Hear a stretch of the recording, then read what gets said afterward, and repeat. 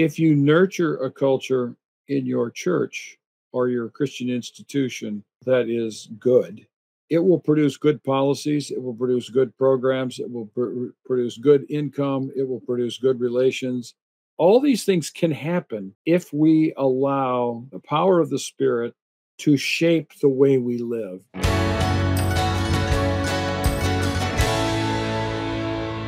When someone is moving on and they're looking for this tov culture which by the way for everyone who's who's listening and watching i don't i don't think i've said that is hebrew for good. So you now you know Yeah. if you're like what was that? And maybe you've googled Yeah. it already but yeah it's hebrew for good. What are some characteristics of a tov culture? What are some things that someone would be looking for? Um, Naomi, when when Laura and I wrote this book, uh, we realized that culture was a big feature in all this, and we um, we began to map marks of toxicity and flipped marks of toxicity, like narcissism or what we call power through fear or uh, institution creep or uh, celebrity culture, anything like this. Okay. Mhm. So uh, we looked at these toxicities and they were pretty clear um, when we began to look at what different churches have as a culture. And we flipped it. So these aren't simply marks of Tov, these are the alternatives to toxicity. Marks of Tov, I think, could be, let's just say, love. That's that's the essence of Tov is is is love. Or you could look at the fruit of the spirit. Some people would look at the uh, at the 10 commandments or you could look at the major themes of the prophets or you could look at Jesus's beatitudes. I think that there's different ways of characterizing what Tov is. But what we found um, as the flip side of toxicity was uh, empathy. A Tov culture is empathic. And narcissists have no empathy. This is the nature of their brain. Okay. And it feeds on itself and makes itself worse in these people. They get worse in their toxicities because they get stimulated by acting that way. Okay. The second one is grace. Grace is a big idea, but we need to be people with grace toward other people so that toxicities don't form. Now, this doesn't mean that when we encounter a toxic leader and he partially confesses to a little bit of what he or she has done, that we immediately say, You're forgiven. Now we're back and we're going to start all over again. It, that's not what we're talking about with grace. Grace is, is going to become a culture that really makes an impact. A third thing we noticed is um, Tov cultures put people first rather than institutions, policies, and programs. Is that, um, and I often tell it this way um, I learned when I was a young professor. I was on an elevator with another professor at an academic meeting, and we were the only two in the elevator. And uh, I said to him, What do you teach? Because, you know, he had his name tag and didn't say what he taught and he said something to me that that stunned me at the moment and has had a big impact. He said i teach students. How about you? Well there's a big difference between i Mhm. teach bible and he teaches students. And i think that is the distinction between an institution creep that takes over and doesn't care about people or their stories and a Tov culture, the character that, that works on people or, or works with people. Then another characteristic, so empathy, grace, putting people first, is to tell the truth. Um, toxic church cultures are fabulous spinners. They can tell a story that makes sense of everything that happens, and then you realize later that's not what happened. All right. How many leaders get rid of, let's say, toxic leaders, getting rid of employees, and are willing to say from the platform in church, the Lord has called them to another place. That is spinning a narrative that sounds oh so spiritual, but it is, I would say, a lie. It is not telling the truth. There's a better way of doing this. A 5th mm-hmm. is is justice.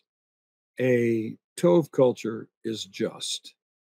Um, it doesn't care about loyalty as much as it cares about justice. And we found we found that toxic cultures when you when you start looking at where they are demanding loyalty is precisely at the moment when someone has to face about doing the right thing at the right time and they're it's they're forced into a into a uh, a choice. You know there's a there's a, a v in the road. You either tell the truth and lose your job or you are loyal to the leader and you keep your job.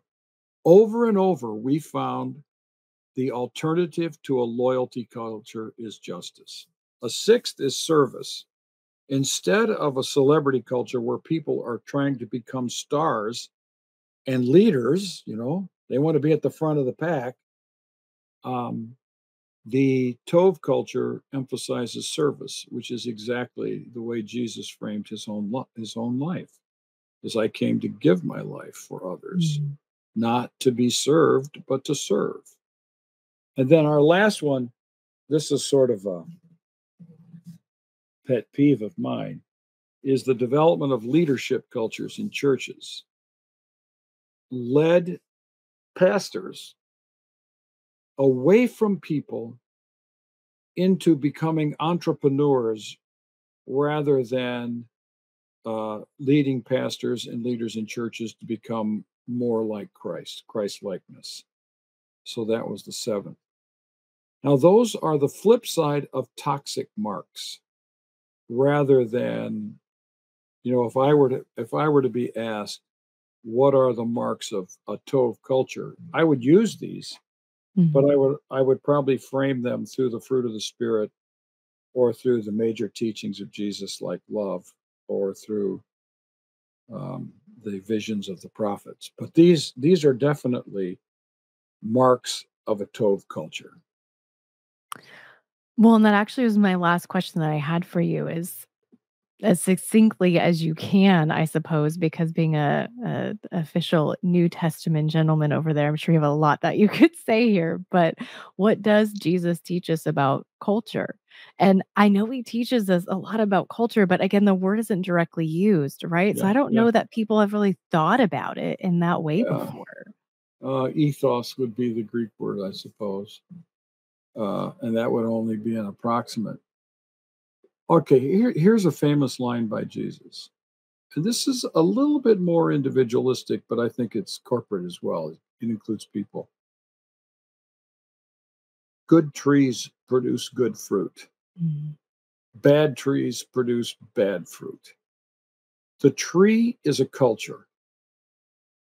If you nurture a culture in your life individually, you will produce good fruit if you nurture a culture in your church or your Christian institution uh, that is good, it will produce good policies, it will produce good programs, it will pr- produce good income, it will produce good relations.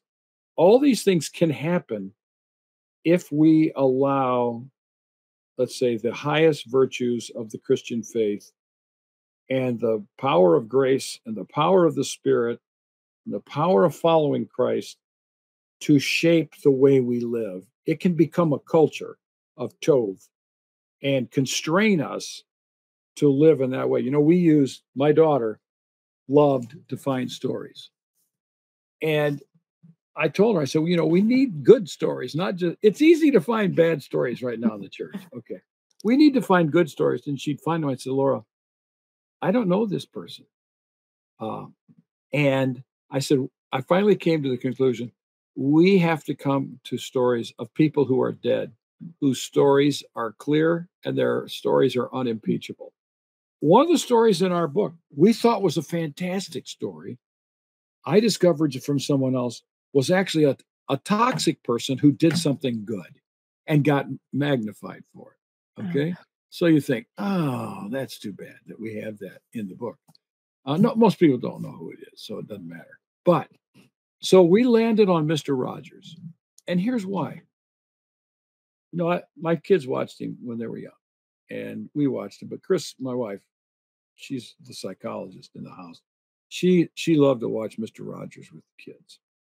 And so she sort of watched him and knew him. And Mr. Rogers creates a radio program with a lot of employees. And somebody in New York, I believe, wanted to write a magazine article. And this author, this editor, this, this writer was known for hatchet jobs to destroy people who everybody thought was a cool person. He always found the dirt and the junk. Okay. Okay. So he studies Mr. Rogers. And when he's done, and, and Mr. Rogers gave him total access. When he's done, he comes to the conclusion the Mr. Rogers that you see on TV is the Mr. Rogers all the time. Well, so I read, I've read a couple books about Mr. Rogers, Fred Rogers.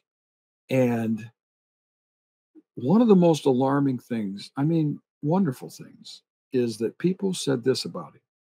He was the most Christ like person I've ever met in my life. Mm. And one person after another said, the Mr. Rogers that you see with the kids on TV, that's Mr. Rogers all the time. They never saw him get really mad or anything like this. And the culture of his business, eh, whatever you want to call it, Mr. Rogers' neighborhood, was just like that. Is all the policies seem to have created a Tov culture that that constrained people to behave in really kind and good ways. That's what we're talking. That's what we. That's what we're talking about uh, with culture and uh, its power to the ships.